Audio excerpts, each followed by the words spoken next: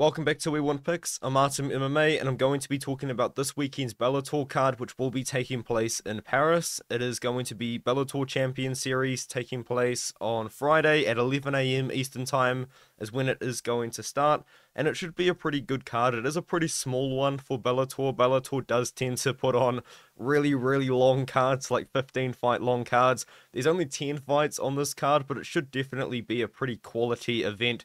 You do have some very good and big name fighters, such as Cedric Doumbé, who was a superstar in France.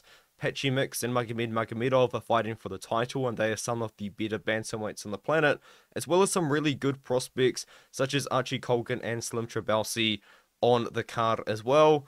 And before I do get into that though, of course you can get all of the We Want Picks content on the We Want Picks website, but you can get a three day free trial if you do sign up using my code ARTEM.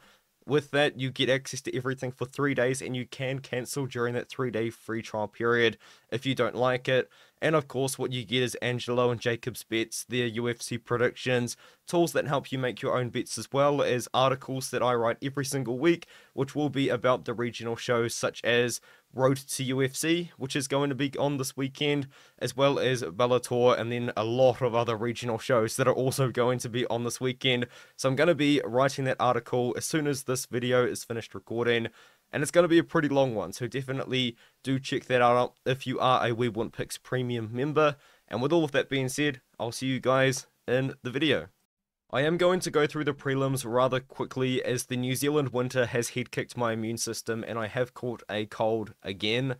But kicking off the card is going to be Asael Adjoudj fighting Bruno Fontes. Fontes will be making his Bellator debut and he hasn't really fought for a while. I'm kind of assuming he got a contract after he won the title in, ju- uh, in Jungle Fight in Brazil, but then just didn't really get the debut fight until now, something along those lines. But he is kind of an interesting fighter because I would consider him to be very well rounded. Mostly a grappler, I would say, but he does have pretty decent striking as well. He is listed at 5 foot 7, which is much shorter than his opponent, Adjoudj, but he is quite well built. Like he has got quite a bit of width to him at 145 uh, pounds. One thing that I did notice about Bruno Fontes though is that he can get taken down and that he can also get outstruck. I didn't think that he was the most technical striker in the world, even though he is pretty high volume and he is pretty aggressive. Does throw a lot of leg kicks, which could actually disrupt Asael Adjoudj's game, because I feel like Asael Adjoudj must have some sort of kickboxing background, because this guy uses his length and his kickboxing very, very well, but he's got an interesting style because he shoots for takedowns as well, and um, yeah, if you watch his fight, he throws a lot of kicks, a lot of body kicks, a lot of head kicks, and he's very, very fast. Kind of has that crouched down kickboxing sort of style, which may leave him open to leg kicks, but he does check them quite well. But Fontes will be throwing a lot of kicks to Asael Adjoudj's legs. One thing that I am kind of interested in with Asael is just the fact that he is such a good striker and he does shoot for takedowns pretty regularly. I mean, the way that he beat Georges Sasu was with his wrestling, which was kind of interesting, and he's kind of done the same sort of thing throughout his Bellator career. So I do like Adjoudj as a prospect. I mean, he's a guy that's a really good striker and a decent wrestler as well. I do think this is probably going to be his toughest opponent yet because Bruno Fontes does have experience against some very good competition 4 0, 12 2, and 11 1. I am going to be predicting Asael Adjoudj to win this fight by decision, but I did want to kind of let you guys know as well if you want to find tape on Bruno Fontes, he does fight under a different name. It's not Bruno Fontes. I think it's Bruno Carreira is how I managed to find it. But once you once you find one fight, you will find them all. They are on YouTube. So I'm gonna pick Adjoudj. I'm gonna pick Adjoudj to win by decision. It looks like I am not in the majority on that one there. Now we have Aspen Ladd fighting against Ekaterina Shakalova. And Aspen Ladd is actually the underdog in this fight here. I think the odds are minus 120 for Shakalova, minus 110 for Aspen Ladd. I am actually going to predict Aspen Ladd to win this fight. Um, I don't feel that good about it. I will be honest. I'm going to double check the weight class it's at because it is at women's 145 pounds, and that is where Aspen Ladd has moved to since being released from the UFC. But Ekaterina Shakalova is five foot two, and she's definitely five foot two. She's very, very short for the weight class. Every fight that I found of her, which wasn't all of them, I will admit, I couldn't find all of her fights, but of the ones that I did find out of her, she was the shorter fighter in all of them, and she's a wrestler. For the most part. She does actually seem to have some sort of wrestling background because every time she shot for a takedown, she didn't really have any problems whatsoever getting her opponents down to the ground. I think that she might struggle a little bit doing that with Aspen Ladd because Aspen Ladd is a very good wrestler. She does have a solid wrestling background, but for some reason she fell in love with her hands, which is kind of odd because Aspen Ladd is not a very good striker. She doesn't really have very good range management whatsoever. Like she'll be on the other side of the cage throwing strikes. It's kind of weird to watch. Actually, if you watch her fight against Elena Kolesnyk, I feel like this is the most egregious example of her doing this. Kolesnyk just outstruck her the whole fight, and Aspen Ladd, with her wrestling background, didn't shoot for takedowns. I think that she probably could have success maybe in the striking here because I wasn't very impressed by Katerina Shakalova's striking whatsoever. So if this fight does end up being on the feed, I think it probably could end up being a pretty hard watch. But I think that if there is a bit of wrestling, I like Aspen Ladd in the matchup. I think that she should be able to reverse positions that Shakalova puts her in if she does take her down. But also Aspen Ladd is going to be the much bigger fighter in the matchup as well. And I think that she should be able to use her wrestling to beat Shakalova as the underdog. But most of Tapology is predicting Ladd to win the fight. And now Imam Shafi Aliyev is going to be fighting Mike Shipman, and Imam Shafi Aliyev is minus 900. And to be honest with you, like to be fully honest with you, I don't actually think there's that much evidence out there that suggests that Aliyev should be a minus 900 favorite. Because if I do watch his fight, um, you can find them. Eagle FC, he did fight a couple times for Eagle FC. They're on YouTube, no real issue finding them. I didn't think that he really looked that impressive doing it. For some reason, I couldn't find his fight against Sean Con- Connor Fallon, but I did actually watch a video of someone recapping the card, and they were going on about how the fight shouldn't have been stopped, which is kind of interesting. But I did watch a fo- see a photo of Imam Shafi Aliyev like slamming an elbow down on his opponent. I'm assuming that's how it happened, but that's how he fights. He does kind of fight how you would expect him to. He does pressure forward very, very well. Every time I've watched him fight on the feet, he's pushing his fighters backwards. He's pressuring his opponents backwards, sorry. And then he shoots for a takedown and has really no issues whatsoever getting those takedowns. And I'm not that convinced that Mike Shipman will be able to defend the takedowns of Imam Shafi. I mean, maybe he could have some success on the feet, but Shipman's not going to be bigger than Shafi because Imam Shafi is taller than him and really, really wide for 185 pounds, man. Like, he's massive. So, yeah, I'm going to pick Imam Shafi Aliyev. He does exactly what you would expect him to. Shipman's been up and down recently. He had a pretty good win recently. Where was it? Against Pietro Penini, but yeah, I don't know, he got knocked out by Gregory Babene, who's like 41 years old, who's also on this card. But yeah, I like Aliyev. I'm going to pick Aliyev to win by TKO due to ground and pound. He's minus 900. As I did say, like, there's genuinely not that much evidence to suggest that he that he should be minus 900 because he's never seen any adversity, but that probably is evidence in itself. I'll just move on. Mansoor Barnawi is going to be fighting Yusuke Yachi, and uh, it's kind of hard to be confident in Mansoor Barnawi because you've got to consider how he has lost since signing to Bellator. If you guys don't know who Barnawi is, I think he won a million dollars in this Road to Road UFC Road FC. I apologize, Road FC tournament when he did defeat Aesol Kwon in the final. Then he didn't fight for about two and a half years, but Bellator signed him after that. And then he defeated Adam Piccolotti and looked really good. But since then, he has lost a couple of fights. And why I say you've got to consider how he's lost those fights, because he's lost those fights by being out grappled. And that's kind of odd, because that's what Mansoor Barnawi is actually really good at. That's his strength, is it his grappling. And that's what Yusuke Yachi is. Yusuke Yachi is a grappler. And I know you might just look at him and see a 26 and 13 record and assume he's not actually that good. He is pretty decent. I mean, if you go through his career and you really, really just kind of look at numbers on a page, the guys that he's beaten, the guys that he's lost to, are very high level fighters. This guy has fought very high level fighters throughout his entire career. But do I think he can go out there against Mansoor Barnawi and out grapple Mansoor Barnawi? I am going to say no to that one. Uh, one thing that I will say about Barnawi is he is very, very good at reversals. Like, if you put him in a bad position, he's going to somehow scramble out of it. He does have a very, very good grappling game. He is a very good defensive grappler, even though he has been out grappled in his most recent fights, which is kind of interesting to see. but he should be able to get one back here and beat Yusuke Yachi in this matchup here. It is also in France, and he's French, so he's got a little bit of a hometown advantage. Minus 400, pretty wide. I know, I know you, you can just look at Yachi and assume he's not that good because of his record, but he's everyone he's for. Roberto de Souza was a Rizin champion. Luis Gustavo is pretty good. Boyd Allen was 16 and 1, 16 and 4, sorry. I mean, Zach, Zach Zane, Zach Zane. Um, but yeah, like, numbers on a page, you would just assume by now he should be minus 400. But I do look at the way he's been losing his fights, and I do lose a little bit of confidence in him. But I am still got a decent amount of predict confidence in predicting Barnawi to win this matchup. Slim Trabelsi will be taking on Louis Sullivan, Louis Sutherland, sorry, in the in the featured prelim of the night, and uh, Slim Trabelsi is a heavyweight prospect that I consider to be very good. And I think it's a bad matchup for Louis Sutherland because Louis Sutherland's a pretty decent striker for the weight class. He's a big guy, six foot three, pretty well built. Like he's he's just a he's a big he's a big heavyweight.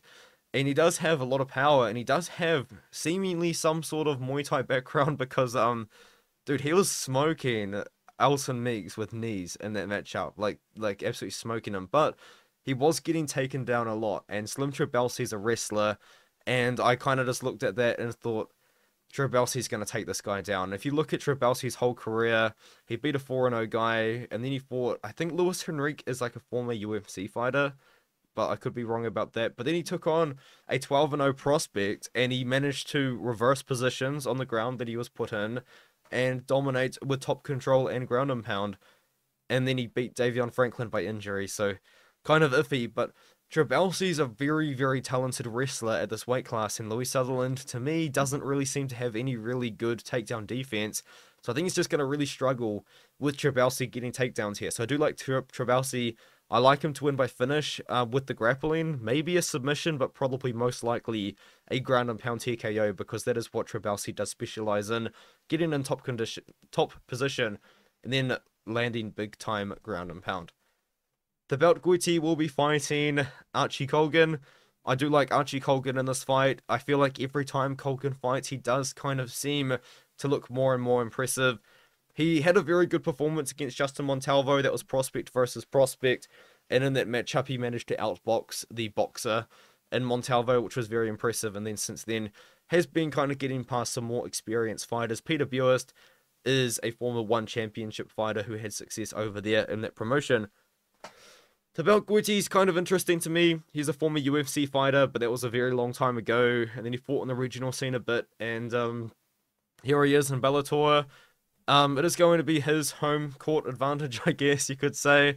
But I like Archie Colgan's skill set a lot. He's a very good boxer wrestler, and he's a very good boxer as well. Uh, I do like Colgan quite a bit in this matchup against Gouti. Kane Musa was having a lot of success against him, and I feel like him and Colgan have somewhat of a similar style. Musa was having a lot of success in the striking against Thibault Gouti, which probably isn't the best look when you do consider that Colgan's going to be a lot better. And the way that Gouti knocked out Musa was Musa, Musa kind of kind of hurt him, uh, or at least I think he might have thought that he hurt Gouti, and then he got way too over aggressive and left himself wide open to a counter. And that was a brutal knockout win for Gouti. But I don't see Colgan making the same mistakes on the feet. I think he should be able to box up the boat. Maybe even getting uh, some takedowns as well. So yeah, give me Colgan. I'm going to go with Colgan to win by decision as well because it is against another talented fighter. Yves Landu will be fighting Jonas Bilharinho.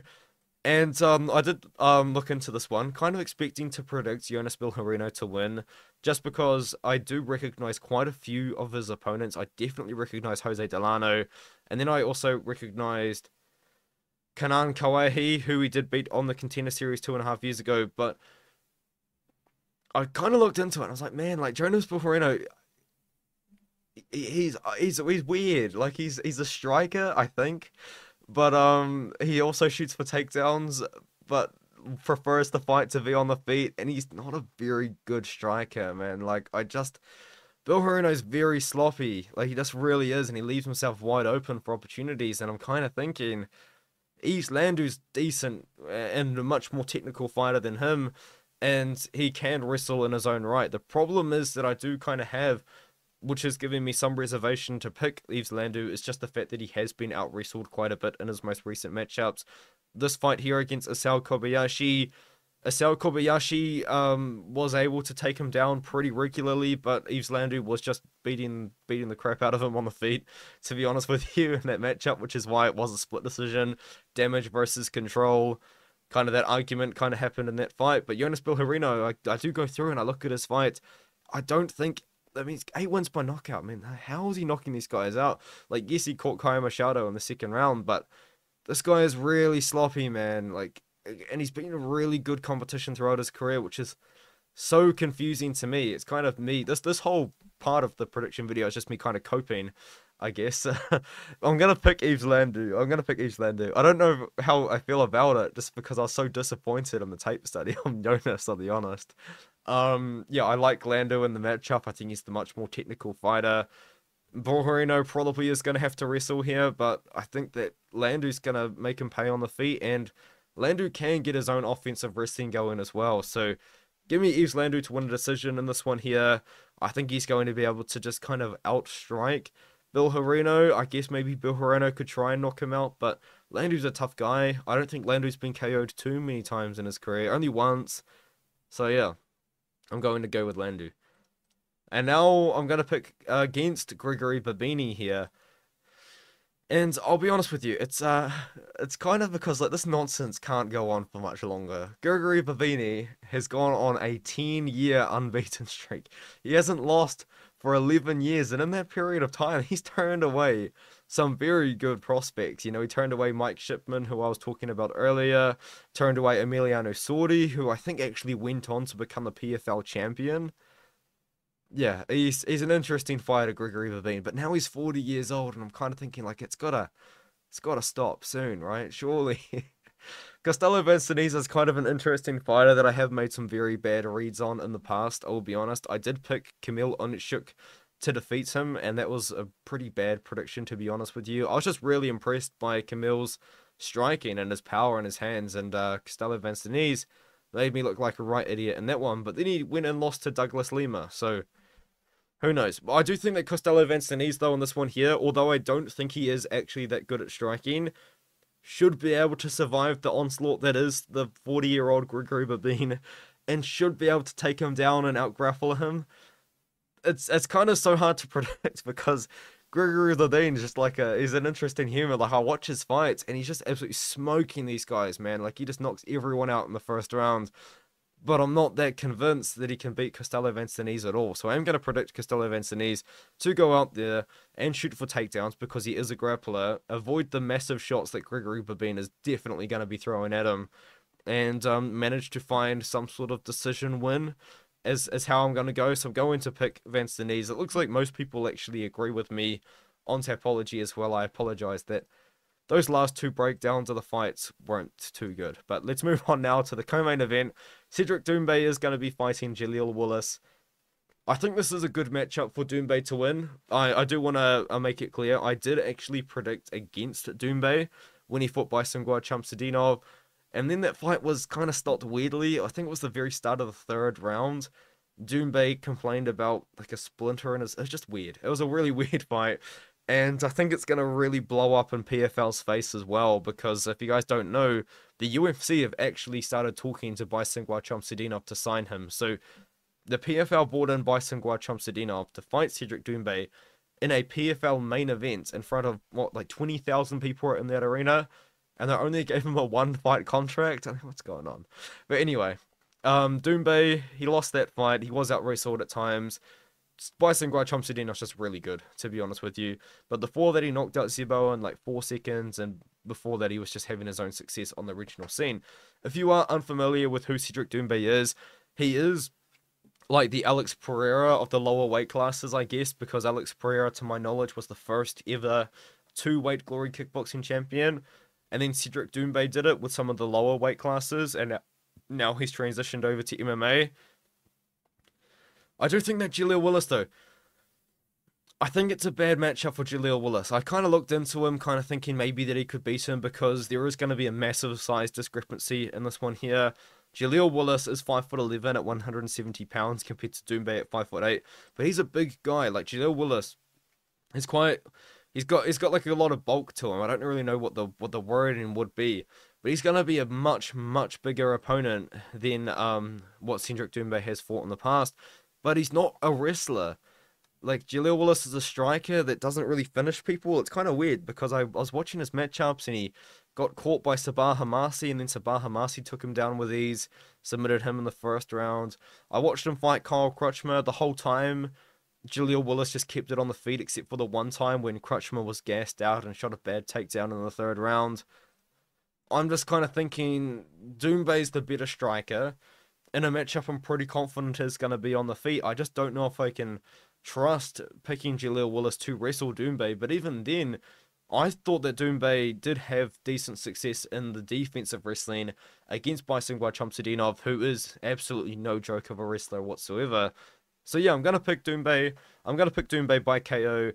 It is uh, once again like the PFL haven't been giving Doumbé the easy matchups. I know he knocked out Jordan Zebo in four seconds, but Jordan Zebo is a massive wrestler for 170 pounds as well. So, yeah, the whole time Doumbé's been in PFL, he's been having these these these striker versus wrestler fights. But I don't think Jaleel Willis is a wrestler. I think Doumbé should be able to knock him out on the feet. So give me Doumbé by KO in this fight, and it looks like everyone agrees with me as well. And now we move on to the main event. It is a rematch between Patchy Mix and Magomed Magomedov.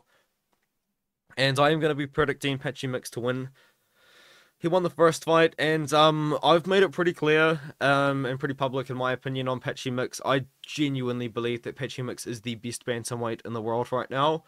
And I know a lot of people that don't watch Bellator or um, don't watch the PFL and only watch the UFC are probably going to call me crazy for that, but I, I genuinely believe that Patchy Mix would beat Sean O'Malley if they were to fight each other. And I think that if Patchy Mix beats Magomed Magomedov for a second time, I think that would just further kind of emphasize that. But I do want to say this one thing though. Magomed, Magomed Magomedov was having a lot of success in their first fight.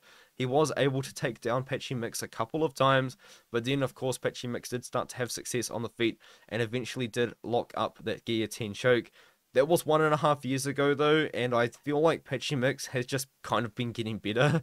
After that he knocked out Raufeon Stots out cold. It was, it was brutal. And then he submitted Sergio Pettis in the second round, and Sergio Pettis was coming off that win against Patricio Pitbull. So, yeah, like, I mean, we're, we're kind of seeing a guy making improvements and taking on very difficult opponents and, and getting very good, impressive finish wins against them. Magomed Magomedov kind of is what you would expect him to be. He's a very good wrestler that does like to dominate in top control. But I think it's a bad matchup for him because Patchy Mix is a grappler for the most part with very good Brazilian Jiu Jitsu. And to add to that as well, he's absolutely massive for bantamweight. Like if you actually do watch the original fight between Mix and Magomedov, which you can do on YouTube, you will see what I mean when I say there's a massive size difference between the two. Patchy Mix is absolutely gigantic for 135 pounds. And even if Magomed Magomedov does get the takedowns, you can see, and even in that first fight, Patchy Mix was able to get the reversals, was able to pick Magomed, put Magomed Magomedov in bad positions on the ground, and eventually did lock up the guillotine choke. But more importantly as well, I feel like Mix is getting better as a striker, and we are starting to see that in the fight, and he's now going to be the better striker in the fight against Magomedov. So the only way that Magomedov can have success in this fight is to get the takedowns, but I feel like that could be still a risky endeavor because Mix is dangerous on the ground. He's the much bigger fighter. He should be able to just kind of pure muscle to muscle out muscle Magomedov, even though Magomedov probably is going to be maybe the better wrestler. I mean, I don't know. I feel like Mix might have him covered kind of everywhere I, the more that I kind of talk about it, because Mix does have a wrestling background. But Magomed Magomedov is a very, very talented fighter. You don't go 20 wins, 3 losses without having some skill. But I do like Mix in the fight. I think Mix honestly has him covered everywhere. Maybe there's just a little bit of bias there from me because I do believe he is the best. But yeah, man, I'd love to see Mix in the UFC because PFL doesn't have a bantamweight division, and I'd kind of hate to see Mix fight at 145 pounds and then you know, maybe take a loss because he's too small or something like that. I don't know. I like Mix. I think you should be able to beat Magomedov. Let me know what you think in the comments below. Looks like everyone thinks Mix me. Mix beats everyone in Bellator, man. Like, we need to see him in a different promotion for sure. But yeah, let me know what you think in the comments below, and I will see you guys in the next video.